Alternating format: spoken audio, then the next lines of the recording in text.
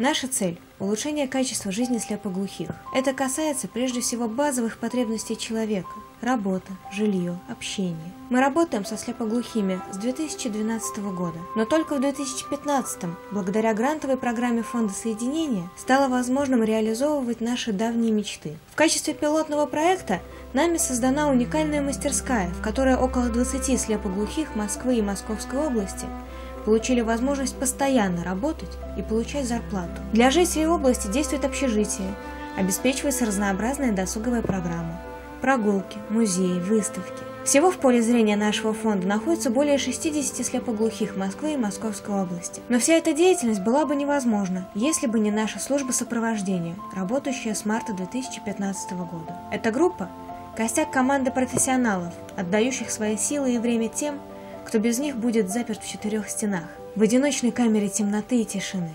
Тифло-сурдосопровождение – это возможность слепоглухого позвать помощника и идти туда, куда он хочет.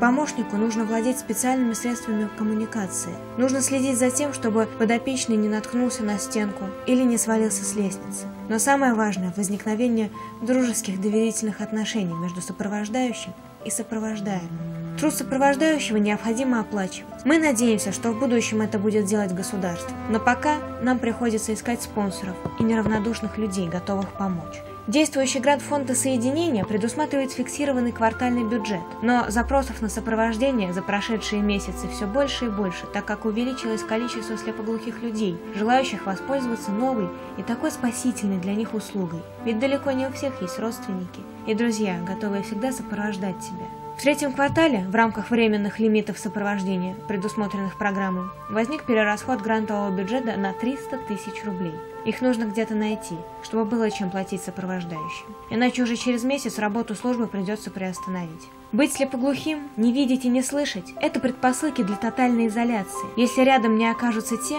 кому не все равно. Наш фонд родился в стремлении создать площадку, на которой слепоглухие и зрячеслышащие смогли бы быть сотрудниками, заниматься общим делом. В обмен на пожертвования можно получить керамическое изделие, сделанное в нашей мастерской руками самих слепоглухих. Давайте сделаем этот проект вместе.